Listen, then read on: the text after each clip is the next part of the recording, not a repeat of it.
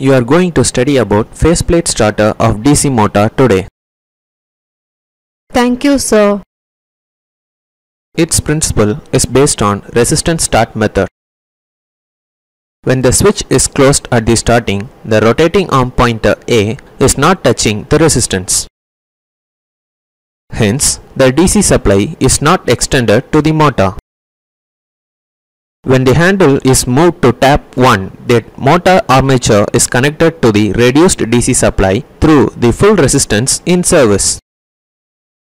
At the same time, the shunt field of the motor is also getting the full DC supply.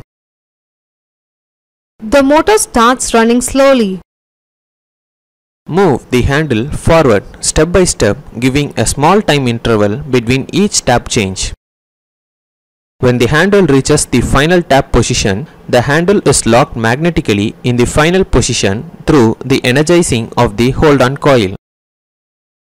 The motor runs now at normal speed. When there is any overload on the motor, the overload relay coil picks up and hence its NO contact closes. The hold-on coil gets dropped.